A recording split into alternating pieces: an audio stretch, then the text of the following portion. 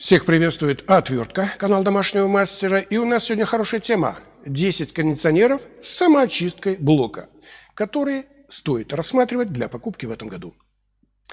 В нашем видео мы рассмотрим очень интересные кондиционеры с функцией самоочистки внутреннего блока. Как вы знаете, в процессе работы кондиционера пыль, а, и всякие микробы скапливаются везде, в том числе и на вентиляторе и в корпусе кондиционера. При самоочистке влага на испарителе подвергается заморозке вместе с частичками пыли. После чего размораживается и стекает с конденсатом через дренажную систему на улицу. Функцию самочистки нужно включать после каждого использования сплит-системы в режиме охлаждения.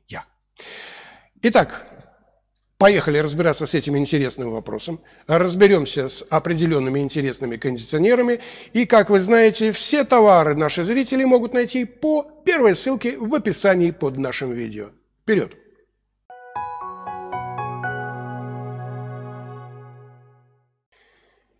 Итак, десятое место нашего видеообзора – это Daihatsu GR07H или «семерка». Э, многие наши зрители задают вопрос, что за семерка? А это как раз вот именно по мощности. Семерка, восьмерка, девятка, десятка, двенадцатая и так далее. Вот у меня стоит девяточка, для двухкомнатной квартиры этого достаточно. Семерка, но это однокомнатная квартира, плюс кухня, коридор, пойдет. Итак, Daihatsu GR07H. Эта модель рассчитана на площадь примерно 25 квадратных метров. Однокомнатная квартира этого будет хватать. Мощность техники 7 BTU или просто семерка. Это самый начальный уровень. Внутренний блок работает тихо, внешний немножко шумит, тут никуда не денешься. А у устройства, особенно э, внешнего э, блока, довольно-таки короткий сетевой шнур. Удлинить его, конечно, можно, но вы теряете гарантию, так что будьте бдительны. Просто переносочку какую-то организуйте. А, вот самые главные показатели. При охлаждении мощность составляет 2050, э, 2050 Вт, а при обогреве 2110 Вт.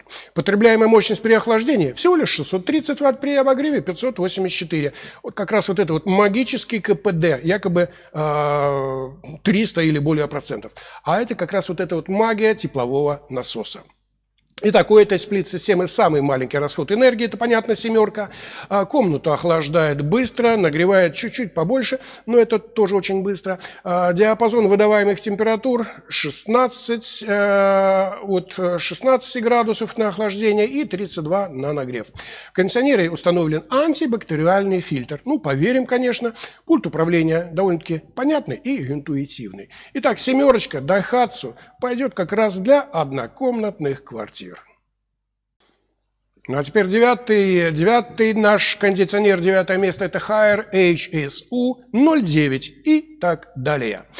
То есть девятка – это немножко, так сказать, уже помощнее. Это уже у нас двухкомнатная квартира. Итак, кондиционер подходит для площадей а, от 22 квадратных метров, нормально. А, двухкомнатная квартира по-любому, мощность устройства 9 BTU или просто девятка. А, заявленную а, квартиру охлаждает довольно-таки быстро, я знаю, у меня такой типа стоит. Аккуратный внутренний блок, матовый, хорошо смотрится. А, непонятное управление шторкой жалюзи. Есть такое дело, здесь надо будет немножко разобраться, особенно с пультом дистанционного управления. Мощность при работе на охлаждение 2500, на обогрев такая же примерно. Прибор потребляет энергии при охлаждении 775 Вт в час, при обогреве 690, тоже магическое КПД, тепловой насос. Температура у нас выдает э, охлаждение это до 18 градусов, это будет достаточно. А, и про э, нагреву 43 градуса. Ну, ребятки, 43, конечно, это многовато. В устройстве есть антибактериальный фильтр. размеры тут такое дело. Э, девяточка немножко побольше, чем семерка. Двухкомнатная квартира, хайер подойдет по-любому. Двигаемся далее по нашему рейтингу. Восьмое место – это Roda Arctic Nano RS G12 и так далее. Это уже э, типа размер 12. Это уже побольше и внутренний, и внешний блок и так далее. Моща здесь прет.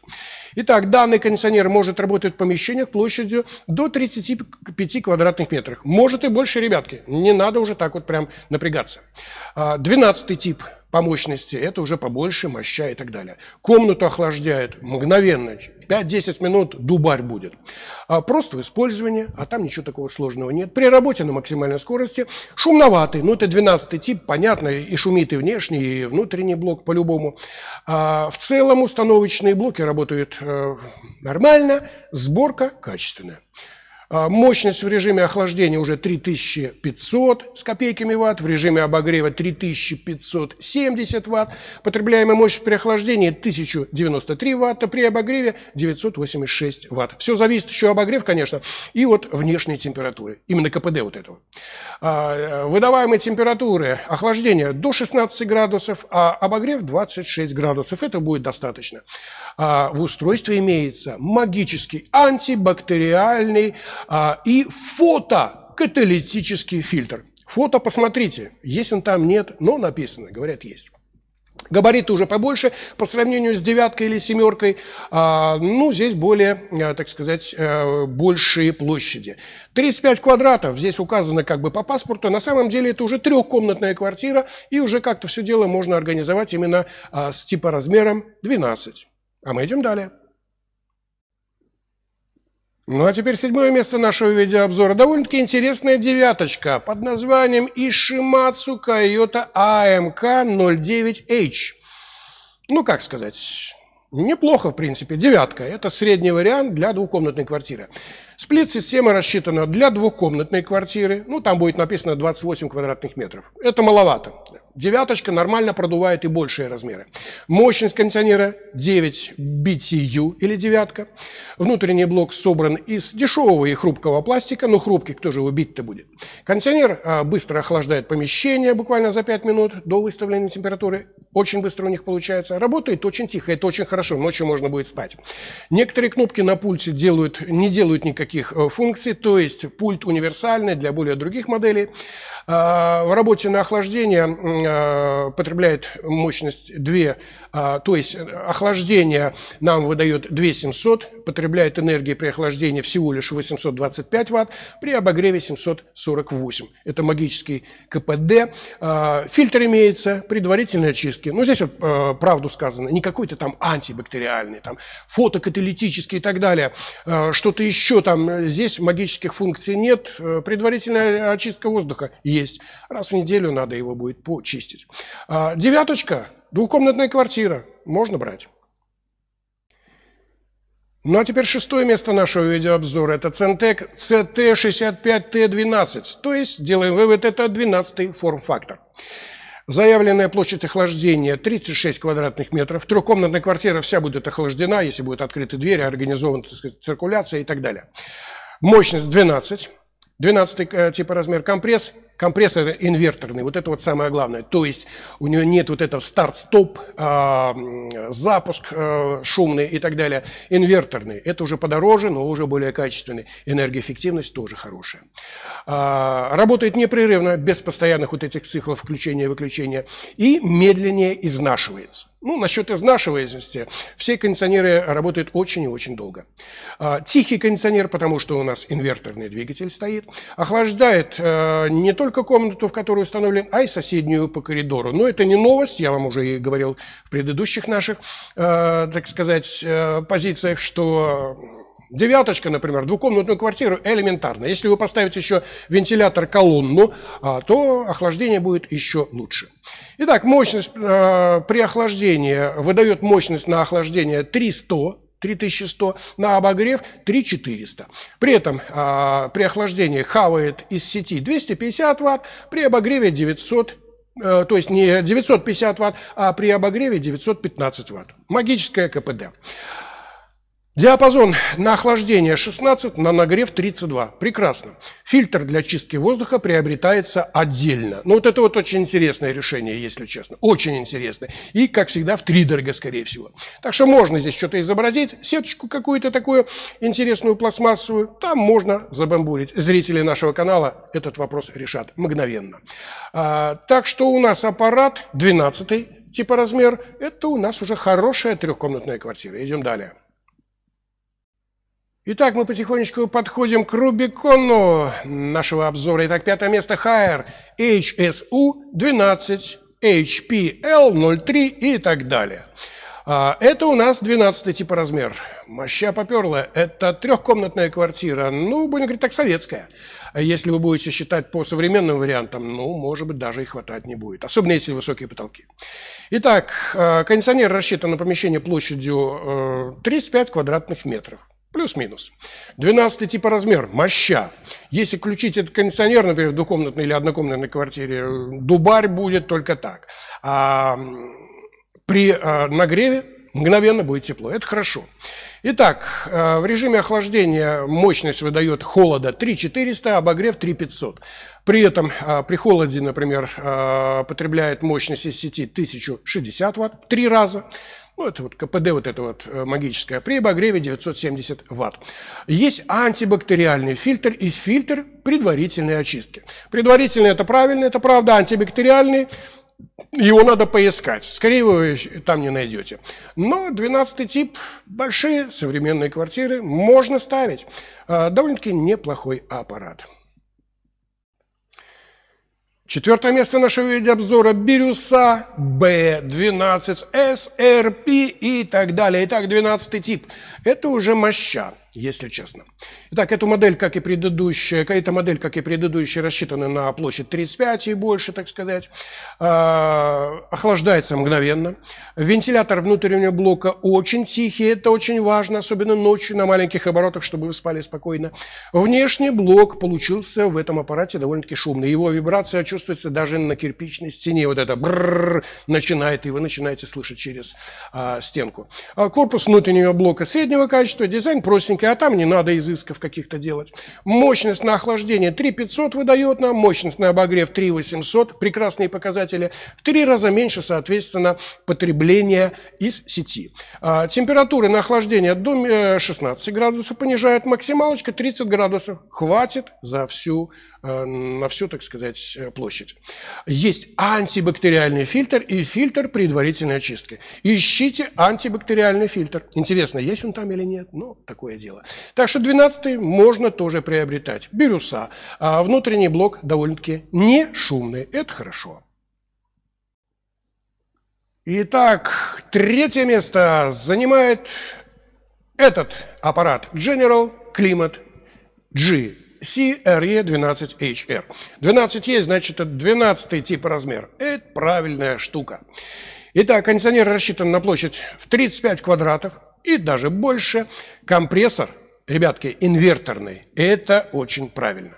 Охлаждает помещение быстро, не шумит. Есть небольшая вибрация а, внешнего блока при работе то есть немножко будет слышно. А, соответственно, мощность на охлаждение выдает почти что 4 киловатта, 3950 на обогрев, аж 5 тысяч ватт. Это прекрасно. В три раза меньше, соответственно, а, хавает, в зависимости от температуры наружной, а, в три раза меньше электричества. А этот кондиционер потребляет больше всех энергии среди всех моделей в данной подборке. Ну, здесь уже моща, инверторы и так далее. Но, соответственно, видим здесь почти что 5 киловатт на обогрев нам выдает. Это понятно. А, температура наружного воздуха при работе на, на охлаждение может работать от минус 15 до плюс 50. Минус 15, конечно, у нас КПДшка уменьшается и так далее. То есть увеличивается на охлаждение. Минус 15 мы хотим охладиться, это мгновенно у нас получится. А вот если будет плюс 50 на охлаждение, КПДшка, конечно, будет не ахти. Так что надо где-то в среднем варианте работать. На обогрев э, может работать при температуре минус 15. Это у нас самый худший КПД. А, и плюс 30. Это мгновенно нагреет вашу квартиру.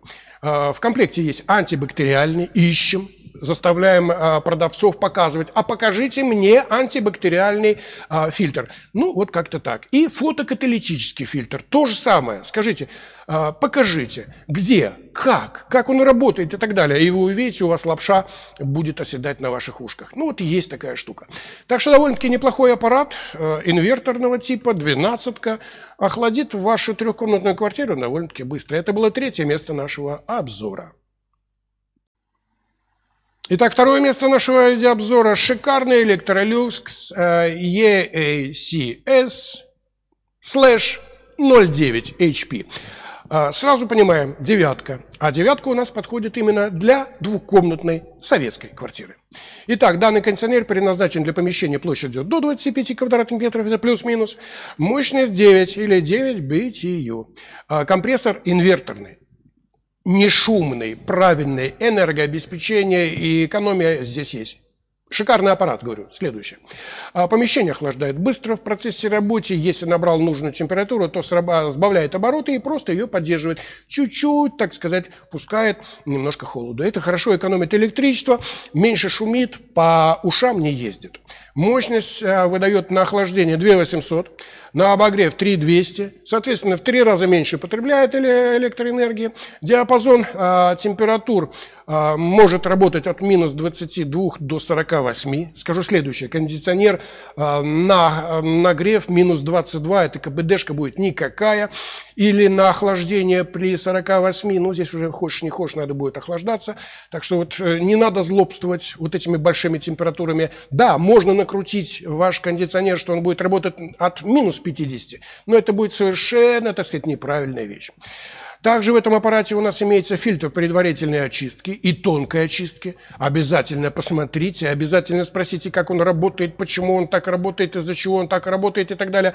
А, и обязательно, чтобы вам показали антибактериальный фильтр. Бывает там такая на фильтре маленькая налепочка, такая же пластмассовая сеточка, якобы обладающая какими-то а, магическими функциями под названием антибактериальный фильтр. Так что смотрим. Очень хороший аппарат Electrolux девяточка для ваших двухкомнатных квартир.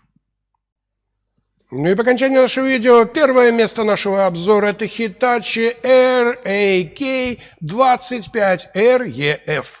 Название ни о чем не говорит, но этот аппарат у нас примерно 12 э, а, типа размера. Кондиционер предназначен для работы в помещении э, а, 35 квадратов, и больше, по-любому. Мощность или типа размер 12.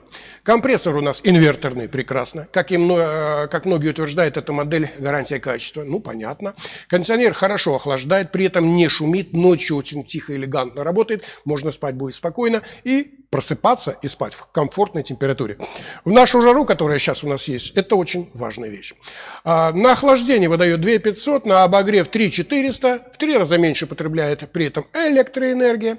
На, может работать от минус 15 до 21 градуса и так далее. Это на тепло, на холод это минус 10 плюс 46. А, имеется у нас фильтр предварительной а, очистки, тонкой очистки и фотокаталитический фильтр. Обязательно э, спрашиваете, показывая, то есть, чтобы вам показали и так далее. Вы же должны смотреть наш канал, и вот именно я вас направляю в нужном направлении, а, чтобы вам а, не навешали лапшу на уши. Так что фотокаталитический фильтр по-любому вам должны показать. Итак, это у нас было первое место Hitachi RAK25REF. Ну вот как-то так. Итак, в целом, что можно сказать? При выборе кондиционера важно обратить внимание на фильтрацию воздуха, по-любому она должна быть, размер помещения, да, где будет установлен сам кондиционер, чтобы на вас не дуло и так далее. А, энергоэффективность, это у нас инверторные двигатели и так далее. Обязательно обращайте на уровень шума. Инверторные меньше шумят, попроще, побольше шумят. И, конечно, гарантия по-любому. На все остальные, так сказать, чудо-фильтры, фотокаталитические и так далее, вы потрошите им, так сказать, э, полностью мозги, чтобы они вам полностью рассказали про это дело. И показали прямо на пальцах. Тогда это будет правильный подход при выборе а, правильного кондиционера. Итак, все наши зрители могут найти а, в, а, в описании в, одну правильную ссылочку а, на все вот эти вот наши товары. Вы узнаете, что, почем, где и как. Товары зрители смогут найти по первой ссылке в описании. Удачи вам и прохлады! Это канал Отвертка, канал Домашнего Мастера. Надеюсь, данная информация была вам полезна. Подписывайтесь на наш канал, ставьте нам лайки, смотрите наши еженедельные стримы. С нами будет интересно.